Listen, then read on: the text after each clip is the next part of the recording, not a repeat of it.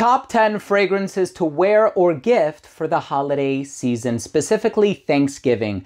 All 10 of these fragrances either convey a sense of class, elegance, sophistication. Of course, if you're dressed up and you're meeting up with family and it's the Thanksgiving holidays, or you just want to be reminded of some of the other fun aspects of that time of the year, maybe the sweets, the desserts, the drinks, the spirits. All 10 of these are amazing. And of course, there are a lot of Cyber Monday, Black Friday deals. I'm going to let you know what these fragrances are in just a little while, so make sure to stay tuned.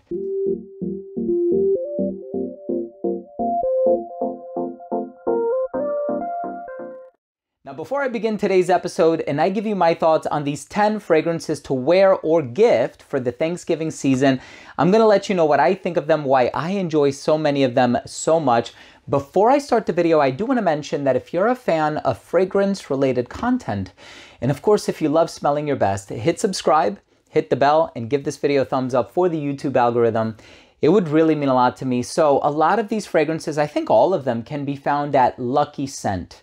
LuckyScent.com is amazing. I've been using them since 2012. They're one of the best places to use if you're looking for niche perfumes. And let me tell you something, all 10 of these are really amazing. With Lucky Scent, you can get a sample. You don't have to necessarily buy the fragrance full bottle or anything like that. So I'm gonna drop all of the links down below. They are not affiliate links. I'm not making commission on any of them. I just wanna put you on to somebody who carries all of these fragrances. And I think all of these are really, really high quality.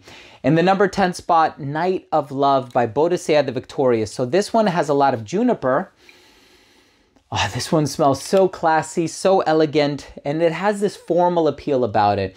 So if you're looking for something that's going to make you smell amazing, if you're dressed to impress, and you want something to convey a sense of formality, Night of Love is such an amazing fragrance by Boadicea the Victorious.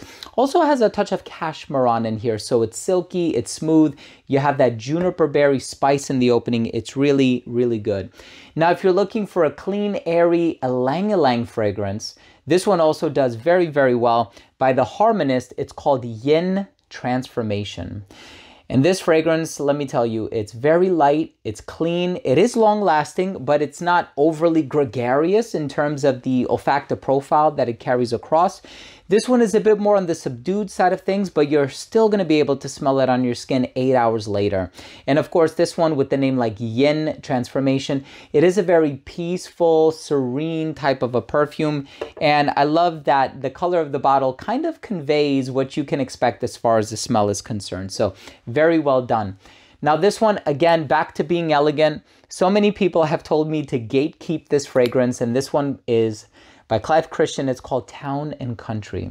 So this is very fresh, citrusy, a lot of ambergris. There's sandalwood. This is a very elegant fragrance and I personally love it. I've been wearing this one for such a long time and I've already put a significant dent in my bottle. Yes, it's not a very big bottle, but I personally love this one, 50 mil. I know I'm going to run through this very quickly.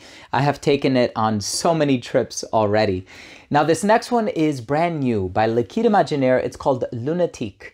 Now, this one is also a green, spicy, incensey fragrance. So, if you want to get a bit darker right around this time of the year, you don't want something very light and airy, you want something very dark and expressive, Lunatique by Liquides Imaginaires is the way to go and the incense that is in here. So it is a touch smoky, not overly so. Let me just remind myself. Yeah, it's so creamy. There's a spicy characteristic about it. It's a bit ambery. It has a bit of a resinous appeal in the dry down as well. This one is so good. There's also liquid gold, which I think would be appropriate right around this time of the year, but Lunatique is amazing. Now, of course, this one I would totally recommend for the ladies. This is such a great floral bouquet. It is so gentle, so feminine, so elegant, and even the color of the liquid in the bottle. This one is by BDK Parfum and it's called 312 Saint Honoré.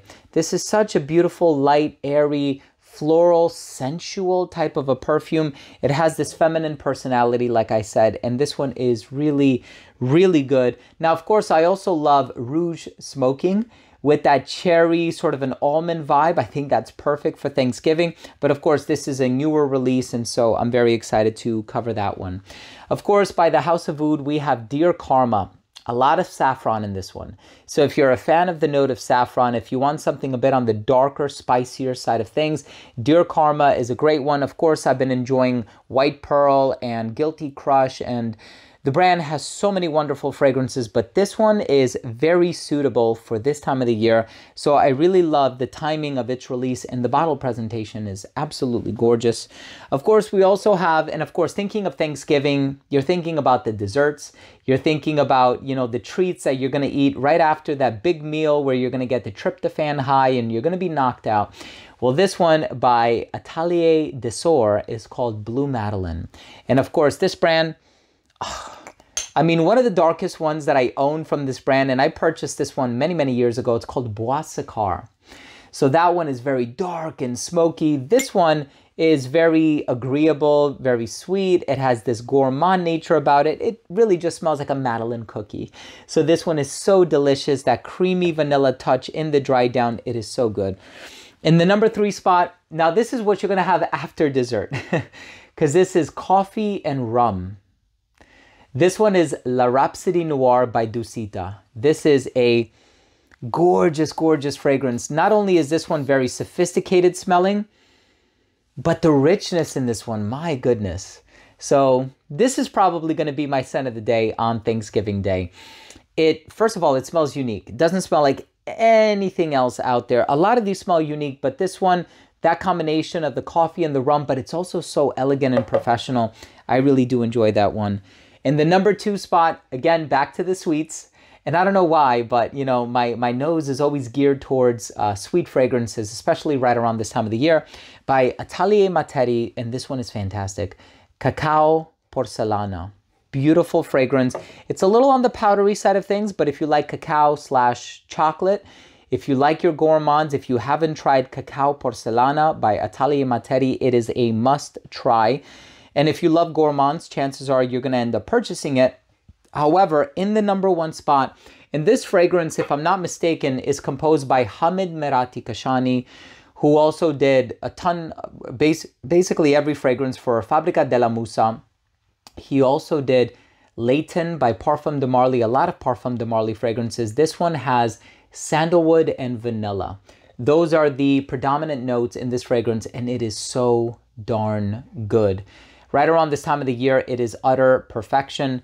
By Goldfield and Banks, it's called Silky Woods. Yes, you can opt for the elixir version as well. It's a bit darker, it's a bit more expressive. However, if you have a big family at Thanksgiving and you want to wear something that is a bit more subdued, not as loud, the original Silky Woods is very, very, very good. And if you're not doing anything on Thanksgiving, that's fine too. You know, sometimes you can be in the comfort of your own home. You can be at peace with oneself. And of course, fragrances always lift spirits. And I've always used as uh, used them as a pick me up. And so, thank you so much for watching 10 fragrances to wear or gift for the Thanksgiving season. And I know a lot of people do their holiday shopping in October and November to try to circumvent and avoid the madness and the chaos of uh, of December. So. Thank you so much for watching. Once again, check out Lucky Scent. All of the links are going to be down below, not affiliate links. But I really appreciate you taking the time to watch this video. If you took anything of value from today's episode, I would really appreciate it if you would consider supporting the channel by clicking subscribe, hitting the bell, and giving this video a thumbs up. It would really mean a lot to me. So thanks again for watching. I love you all, and we'll see you tomorrow with a new episode. Bye.